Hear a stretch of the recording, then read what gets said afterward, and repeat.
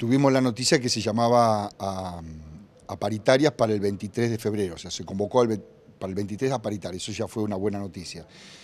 Luego de dos horas de discusión entre los compañeros de las distintas asociaciones de base, más o menos todos acordamos en los mismos valores de reclamo, que eso también es importante, que es eh, el 35%. Ese 35% de incremento salarial significa recomponer parte, recomponer lo perdido durante el año pasado y parte de lo que teóricamente ocurrirá con la inflación de este año.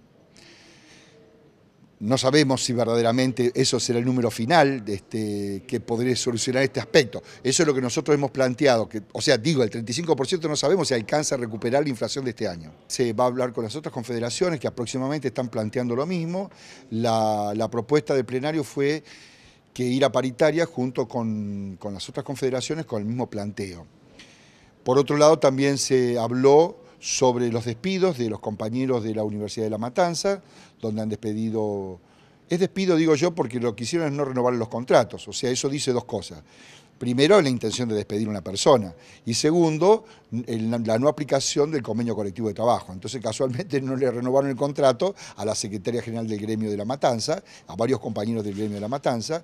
Hay este, también una situación este, de permanente acoso con, los compañeros del gremio de la Universidad del Chaco Austral, eh, también repudiamos eso.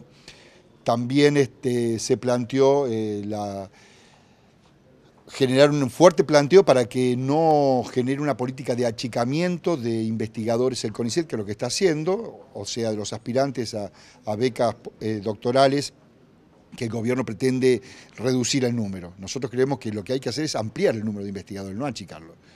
En ese sentido también, y bueno, también está, por supuesto, que siempre está presente la cuestión presupuestaria.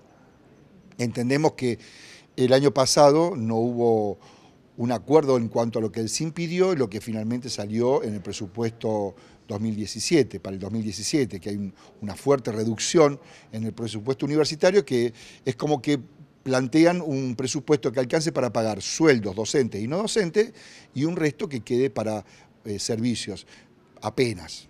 Entonces, bueno, creemos que eso también es atenta contra la educación universitaria.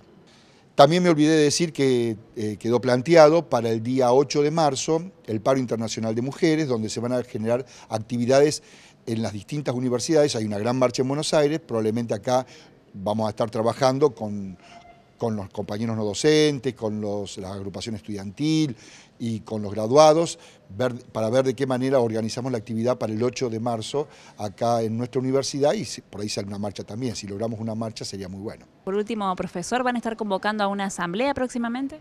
No es que convoquemos una asamblea, sino que nuestra asamblea pasó un cuarto intermedio. O sea, esto es lo que resolvió el plenario de CONADO. Ahora eso queda sujeto a lo que la asamblea, los compañeros docentes definan.